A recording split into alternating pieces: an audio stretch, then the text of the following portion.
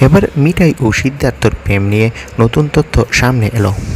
বিস্তারিত জানতে ভিডিওটি শেষ পর্যন্ত দেখুন। উৎসবের আনন্দের মাঝেও মিঠাই ভক্তদের মন এখন ভীষণ উদ্বিগ্ন রয়েছে।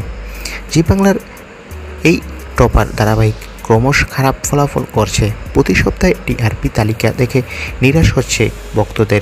টানা ছাপ্পান্ন বারের বেঙ্গল টপার মিঠাই রানী এখন সেরা পাশে জায়গা পাচ্ছে না। এসব দেখে ভক্তরা রীতিমতো আতঙ্কিত। এরই মধ্যে একটি সুখবর সামনে এলো। মিঠাই ও সিদ্ধার্থ ভক্তদের জন্য। এবার মিঠাই ও সিদ্ধার্থর সম্পর্ক আগের থেকে ভালো হয়েছে। আর তারা নাকি পুজোতে একসঙ্গে অনেক জায়গায় ঘুরতে গিয়েছে। আর এই খবরটি জানা মাত্রই অনেক ভক্ত দাবি করছে, তারা নাকি বাস্তবে প্রেম করছে। তো বন্ধুরা, যদি মিঠাই ও সিদ্ধার্থ বাস্তবে প্রেম করে কেমন হবে? কমেন্ট করে যেন আর আমাদের চ্যানেলটি সাবস্ক্রাইব করে রাখো। ধন্যবাদ।